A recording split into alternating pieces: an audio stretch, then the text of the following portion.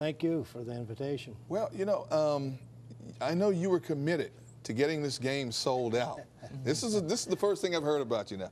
Today, they tell me you are committed. You are on a mission to get this game sold Right. out for next Friday. That is true. Have you completed the mission? Well, yeah, I'll tell you at kickoff. uh, counting tickets and counting noses, and we've had a lot more awareness than about a game than in the past, and uh, we've had a lot of cooperation. The Eagles have been great. Temple's been great. Everybody's been working as hard as they can, and and the cooperation of all people has just been tremendous. Wayne, Wayne, what was the impetus that got you? And I remember you talking to me back in the spring about that. But what was the impetus that got you wanting to do this? Well, I went to a game last year, and they broke a 20, 20 game losing streak. And uh, I went up to the top of the stadium and sat in the very top and, and uh, looked at it. And I saw a handful of people down there. And I said, This is ridiculous. I said, If we're going to play in a stadium like that, we need to fill it. And uh, I look at the Eagles, and they're filled all the time. And uh, so I thought uh, I could get um, the kids I coached and, and get the alumni and get the students and get the faculty to get behind it. If Temple can support Temple, uh, we don't need anybody else. And I'd love to have the Subway alumni and uh, love to have the uh, forefathers in uh, Philadelphia help, but uh, there's enough people for uh, us to fill the stadium just in Temple people. Has Temple been hurt over the years by the fact that they don't have their own ballpark, their own stadium?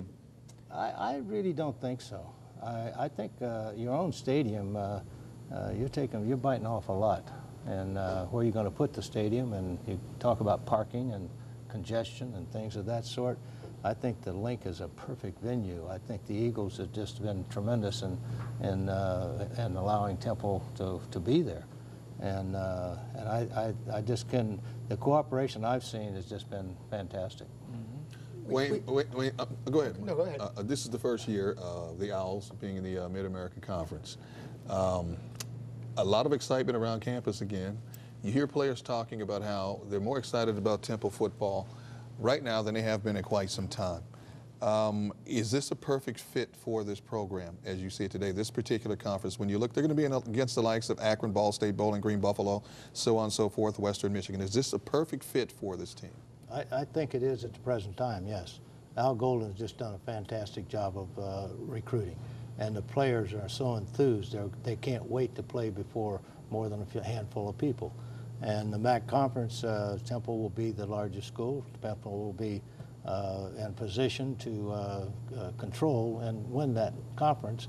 And being fair to Al, the, the, the maintain a senior class is what you have to have. And once you get the rollover, he's recruiting kids that, that are going to graduate. He's recruiting kids that are going to be there, and the enthusiasm, and the, uh, he's got more speed, and uh, I think he's got a good chance. And it may not be this year, but he's he's looking at being bowl eligible this year, winning six games. And if he does that, now the future years, uh, I see it rolling and rolling where they can be the champions. Wait, is it as simple as if you win, they will come? I mean, because there were so many years there. I mean, you had some really successful seasons, obviously, back in the 70s. And I'm trying to remember, like, what, what the support was. I know the Penn State games were huge, but I mean, is it as simple that if Al gets his team in a couple years where they're real competitive in the MAC, that people will then want to pay more attention to it? I, I, I really think that it's a chicken or the egg, what comes first. And uh, I believe if you get 66,000 people in, this, in the stands and they play well, they don't have to win. They have to play well. And if they play well, that's one thing. If they win, it's, it's, they're all going to come back. They're going to see something exciting. They're going to enjoy what they see, and they'll be back. I mean, I'm not talking about that one game specifically, but just in general, that if In Al can, can get them winning, Yes. that people will then say, hey, this is worth paying attention to. I, I think the Division 1A football in Philadelphia is by Temple. And the Eagles are, are here to win the Super Bowl, and the Owls are here to win the MAC conference and be bowl eligible. And impacts on recruiting as well. I mean, who wants to come to play uh, for a for a school that where doesn't draw any fans, right? Well- you don't want to play in front of an empty empty stadium. That's a two-edged sword. They, they come because they think they can play. That's true.